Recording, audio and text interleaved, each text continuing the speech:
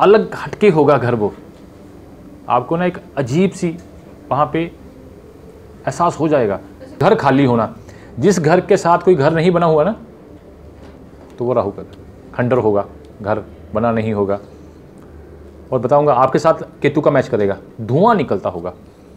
कई लोग जैसे सुबह सुबह अंगीठी बाहर रख देते हैं ना तो फिर अंदर ले जाते हैं वो। तो वो भी हो सकती है।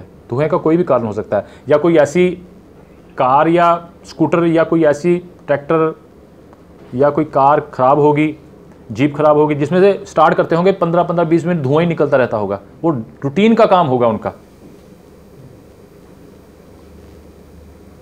घर में सीलन रहती हो। अगर घर में सीलन आ गई ना तो राहु का प्रभाव आ गया।